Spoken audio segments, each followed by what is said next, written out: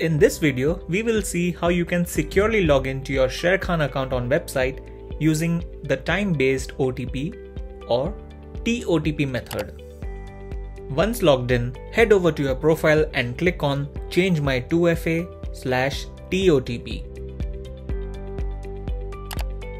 Now before proceeding further, you need to install either Google Authenticator or Microsoft Authenticator on your smartphone in order to enable and log in using the TOTP method.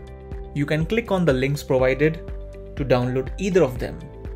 Once done, click on the Enable TOTP button. You will now need to open the Authenticator app on your smartphone and scan the QR code on the ShareKhan website. Upon scanning, you will receive a 6-digit OTP number inside the Authenticator app. Enter the OTP number in the box and click on Enable. Enter your trading password or OTP in order to activate the TOTP login method to your ShareKhan account. And there you go, you are now successfully registered for TOTP.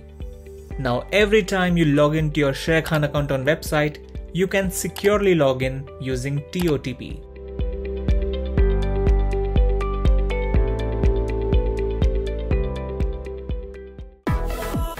Thank you for watching.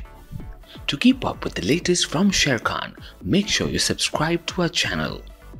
You can also download the ShareKhan app for all your trading and investment needs.